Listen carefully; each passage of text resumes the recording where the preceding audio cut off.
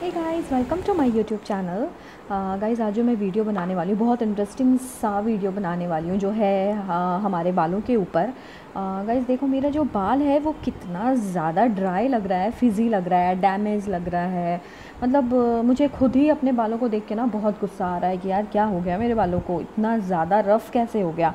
Because क्या है ना, अभी गर्मी का सीज़न चल रहा है तो हमारे बालों को ना बहुत केयर की ज़रूरत पड़ती है। जैसे हम अपना फेस का ध्यान रखते हैं, अपनी पूरी बॉडी पार्ट का ध्यान रखते हैं, हमको अपने बालों का भी ध्यान रखना है। तो गाइज़ आज जो मैं मास्क बता रही हूँ, आपको बहुत ही इंटरेस्टिंग सा है और उसके लिए मुझे जो अब मैं, आपको मैं दिखा रही हूँ, एक बॉल में मैंने मेथी के दाने फेनग्रिक सीड्स ले लिया, जिसको मैंने ओवरनाइट रात भर भिगो के रख दिया था।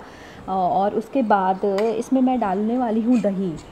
मैं इसमें सिर्फ़ दो ही इंग्रेडिएंट लगेंगे, जो बहुत ही बहुत ही ज़्यादा मैजिकल इंग्रेडिएंट है, जो हमारे बालों के लिए इवन हमारे पूरे बॉडी के लिए बहुत ही बेनिफिशियल है। तो मैंने इस दो प्रोडक्ट को ले लिया और मेथी के दानों को जो मैंने भिगो के रखा था, उसको अच्छे से पीस लिया। मिक्सर ग्राइंडर में डाल के इसको पीस लिया। उसके बाद इसके मतलब हमें एक स्मूथ सा पेस्ट बनाना है तो उसके अकॉर्डिंग हमें जितना दही लगेगा, हम इसमें ऐड करेंगे। आप अपने अकॉर्डिंग आप थोड़ा पानी भी ऐड कर सकते हो, कोई दिक्कत नहीं है। तो इसमें मैं दही डाल के इसको एक अच्छा सा स्मूथ सा इसका मैंने टेक्स्चर बना लिया, एक पेस्ट बना लिया। और देखो, आपको भी बिल्कुल इस तरह का ही बनाना है। जो आपके बालों पे अगर आप अप्लाई करो तो अच्छे से पूरे बालों पे अप्लाई हो जाए।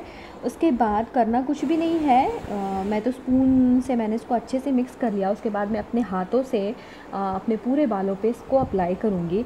तो गाइज़ मेथी के दाने जो है ना वो हमारे बालों के लिए ना वरदान है। लाइक अगर आपको डेंडफ की प्रॉब्लम है डैमेज हेयर है और आपके बालों से कंडीशनिंग चली गई है कंडीशनिंग चली गई है तो ये सब में काम आता है। आपके डैंड्रफ को कम करेगा, आपके डैमेज हेयर को अनडैमेज करेगा, आपके आपके बालों को एक अलग सा शाइन देगा, ग्लॉसी हेयर देगा और अगर आपका फ्रिजी हेयर है तो उसको भी ठीक करेगा, ड्राई हेयर दूर करेगा, हेयर फॉल अगर है आपका तो उसको भी कंट्रोल करेगा ऑयली स्केल्प को दूर कर, दूर करेगा। अगर आपके स्केल्प में इचनेस हो रही है तो ये उसको भी काम मतलब दूर कर देगा। तो गाइज़ जैसा कि मैंने आपको बताया, ये बहुत ही ज़्यादा रामबान पैक है। तो मेथी का दाना बहुत ही और उसके साथ साथ दही वॉट ए कॉम्बिनेशन दोनों ही बहुत बेनिफिशियल है हमारे बाल को। दही भी हमारे बालों को स्ट्रॉन्ग करती है, एक कंडीशनिंग देती है और हमारे जो बाल है उसको, उसके ग्रोथ में काफ़ी हेल्प करती है।